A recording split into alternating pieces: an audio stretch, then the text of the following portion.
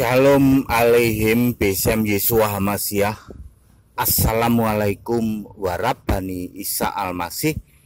Salam sejahtera di dalam nama Tuhan Yesus Kristus. Salam kami dalam tiga bahasa Bahasa Ibrani, bahasa Arab, dan bahasa Indonesia. Artinya sama saja salam sejahtera di dalam nama Tuhan Yesus Kristus Bersama saya Pendeta Henry Tandianta STH.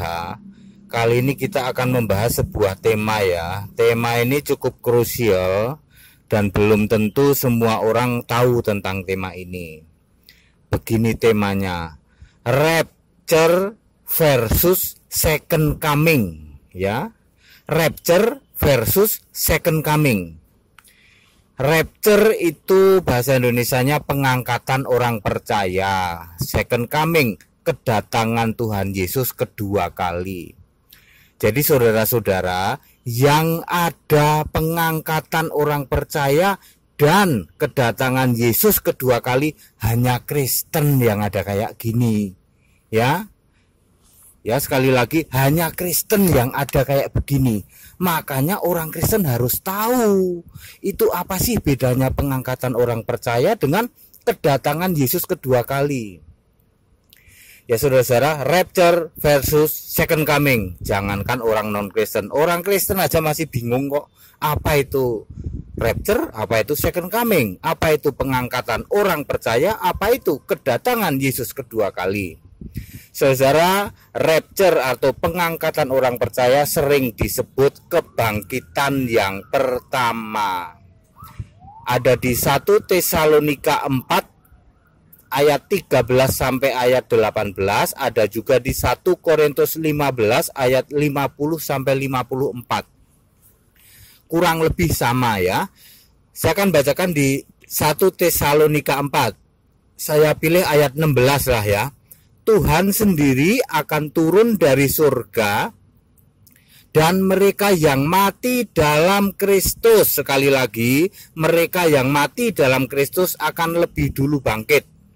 Ayat 17 sesudah itu kita yang hidup yang masih tinggal akan diangkat bersama-sama dengan mereka dalam awan awan menyongsong Tuhan di angkasa.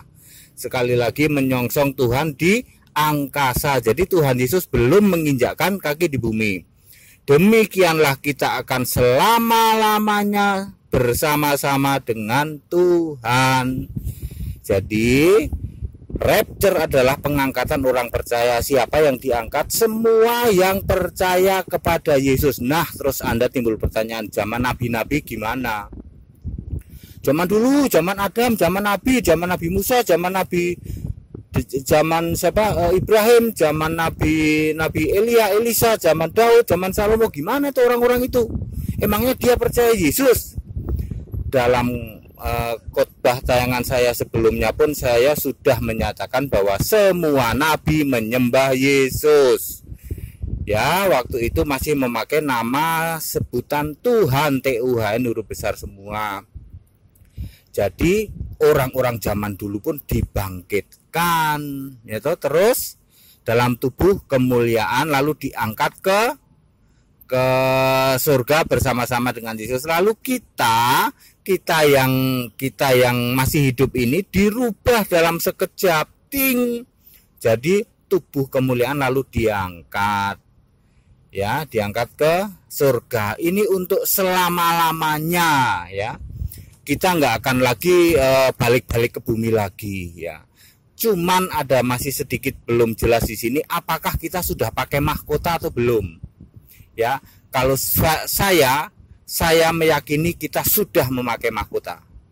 Jadi ketika tubuh dibangkitkan lalu di, kan dibangkitkan kan percaya kepada Yesus berarti pasti dilihat di kitab kehidupan lalu dikasih mahkota berdasarkan jenis amal soleh pahala kita ya lalu e, bersama-sama dengan digabungin sama rohnya yang dari Firdaus langsung dalam sekejap naik ke surga dibawa ke surga bersama Yesus. Oke, itu rapture ya. Jelas ya itu eh, kebangkitan yang pertama. Nah, setelah rapture apa? Ada proses selanjutnya yaitu perang Armageddon.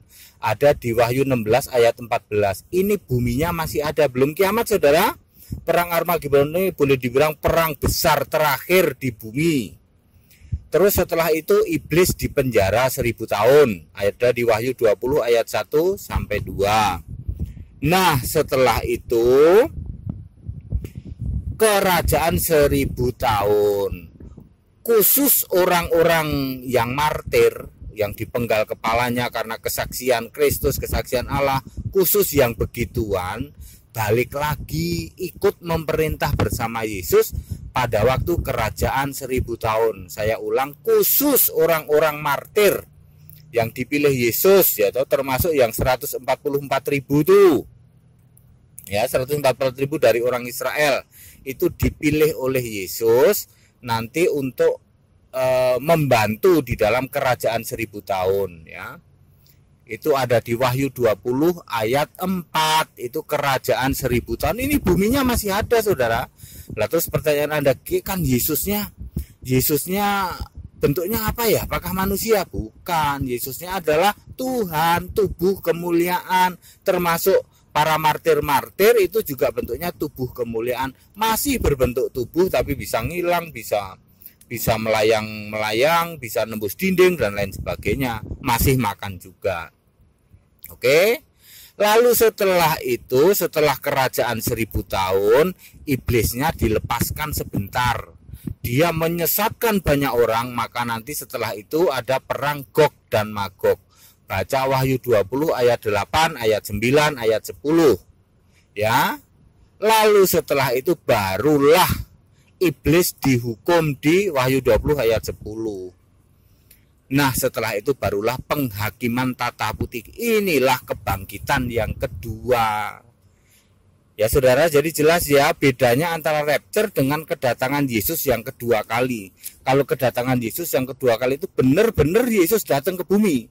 Memerintah bersama orang-orang pilihannya di bumi ini selama seribu tahun. ya. Jadi cara bedainya gampang kalau rapture itu terjadi sebelum Armageddon, kalau kerajaan seribu tahun terjadi setelah Armageddon. Ya, perang Armageddon, kalau sebelumnya itu rapture, setelahnya itu kerajaan seribu tahun Yesus datang kedua kali. Jadi yang disebut Yesus datang kedua kali itu untuk mendirikan kerajaan seribu tahun. Nah, setelah kerajaan seribu tahun masih ada satu kali perang lagi disebut perang Gog dan Magog. Ini juga apa Jul dan Yakjul ya, mungkin begitulah. Itu eh, kebenaran Alkitabnya seperti itu ya. Jadi sekarang jelas saudara ya cara membedakan antara rapture dengan second coming itu dua hal berbeda. Ya, habis second second coming nanti penghakiman tahta putih nah baru deh itu dihakimi Oke, yang yang itu loh, yang domba sama kambing, kelompok domba sama kambing, ya. Di khotbah-khotbah saya sudah banyak saya bahas tentang penghakiman tahta putihnya, sering disebut begitu. Jadi jelas ya penjelasan ini ya orang Kristen jangan sampai tidak tahu apa bedanya rapture dengan second coming, apa bedanya pengangkatan orang percaya dengan kedatangan Yesus kedua kali. Pengangkatan orang percaya terjadi sebelum perang Armageddon. Kalau uh, Kedatangan Yesus kedua kali adalah untuk mendirikan kerajaan seribu tahun terjadi setelah perang Armageddon. Penjelasan ini padat, singkat, dan clear. Tidak perlu ada pertentangan-pertentangan di sana-sini. Pesan-pesan toleransi saya ulang-ulang, kita Indonesia, kita Pancasila, toleransi harus, keberagaman wajib disyukuri, bersahabat dengan beda iman itu bisa. Kalau toh dalam kehidupan sehari-hari kita mendapati kenyataan loh kok keimanan kita tidak sama? Ya nggak apa-apa. Toh kita bisa hidup bersama-sama. Ayo saling menghargai saling menghormati jangan hujat jangan caci maki sebab menghujat dan mencaci maki itu dosa. Kiranya bermanfaat. Shalom alaihim bisem Yesus Hamasiah Assalamualaikum warabani Isa Almasih. Salam sejahtera di dalam nama Tuhan Yesus Kristus Haleluya. Amin.